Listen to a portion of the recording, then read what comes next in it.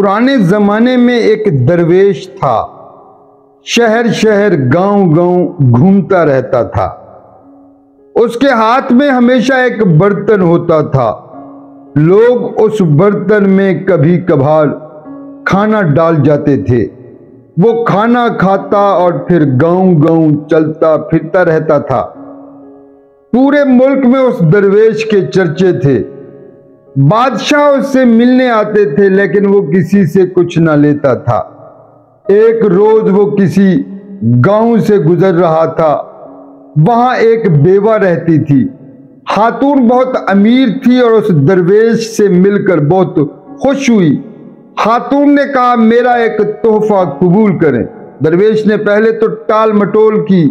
جب بیوہ نے بہت اصرار کیا تو وہ ایک برتن لے آئی۔ وہ برتن سونے کا بنا ہوا تھا اور اس میں ہیرے جواہرات جڑے ہوئے تھے۔ درویش نے بغیر کوئی سوال کیے وہ برتن لیا اور وہاں سے خاموشی سے چلا گیا۔ درویش کے لیے ہیروں جواہرات سے بنا وہ برتن مٹی کے برتن جیسا ہی تھا۔ درویش کو تو بھیک مانگنے سے مطلب تھا، روٹی کھانے سے مطلب تھا۔ اس قیمتی برتن سے درویش کا کوئی مطلب نہیں تھا۔ درویش قیمتی برتن کو دیکھ کر نہ خوش ہوا اور نہ پریشان ہوا۔ اس کے لیے تو یہ ایک برتن تھا جسے بھیک کے لیے استعمال کیا جانا تھا۔ درویش قیمتی برتن کے ساتھ شہر شہر گھوم رہا تھا۔ سب کو معلوم تھا اس کے پاس سونے سے بنا برتن ہے، جس میں وہ بھیک مانگتا ہے اور کھانا کھاتا ہے۔ ایک رات درویش ایک گاؤں سے گزر رہا تھا۔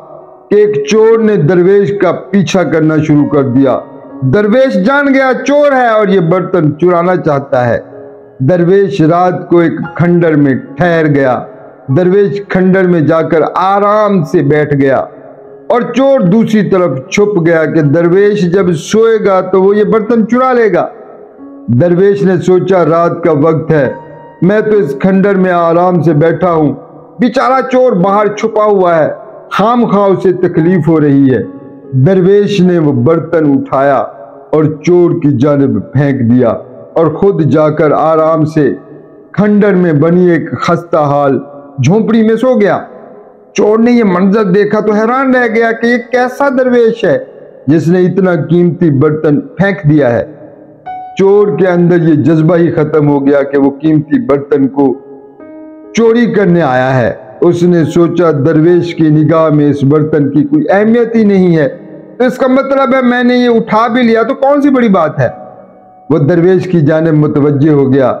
درویش کا برتن کا پھینکنا اس کے لیے بڑی بات تھی اور وہ یہ بات سمجھنا چاہتا تھا، یہ سچ جاننا چاہتا تھا۔ چور نے وہ برتن اٹھایا اور درویش کے پاس چلا گیا اور جا کر اس کے پاس بیٹھ گیا۔ درویش نے کہا، دوست، اس لیے یہ برتن باہر پھینکا تھا۔ کہ تو اندر آ سکے۔ چور نے کہا، اے درویش، میں بھی شانتی چاہتا ہوں، امن چاہتا ہوں، زندگی میں سکون چاہتا ہوں، لیکن میں ایک چور ہوں اور چور کو کہاں سکون ملتا ہے، کہاں چین ملتا ہے؟ چور نے کہا، جس بھی اچھے انسان کے پاس جاتا ہوں، وہ کہتا ہے، پہلے چوری کرنا چھوڑو، پھر اچھے انسان بن سکتے ہو۔ چوری میری عادت ہے، یہ میں چھوڑ نہیں سکتا، اس لیے شاید اچھا انسان بھی نہیں بن سکتا۔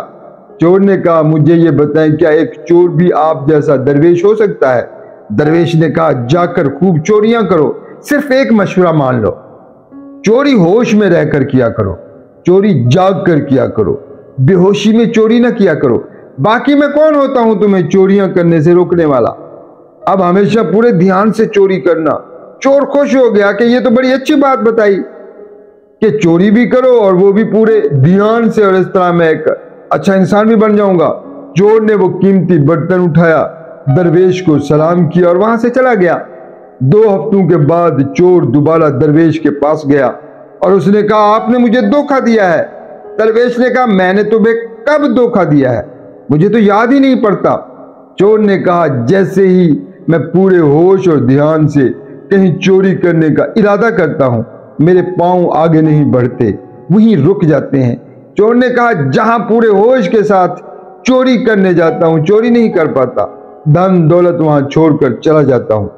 میں جاگ گیا ہوں اور جاگ کر چوری نہیں کی جا سکتی۔ آپ نے مجھے جگا کر میرے ساتھ دھوکہ کر دیا ہے۔ جو بھی آپ کریں، پورے دھیان سے کریں، مکمل دھیان سے کریں۔ اس کام میں آپ کی مکمل انٹیگریشن ہونی چاہیے۔ جب انسان مکمل دھیان میں رہتا ہے اور جو بھی کام کرتا ہے، پورے ہوش میں کرتا ہے، تو سارے اعمال دعا جیسے ہو جاتے ہیں۔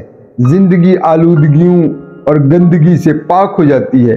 جب آپ کوئی بھی کام مکمل انٹیگریشن کے ساتھ کرتے ہیں، تو جو برا کام ہے، وہ ہونا بند ہو جاتا ہے اور جو اچھائی ہے، وہ ہونا شروع ہو جاتی ہے۔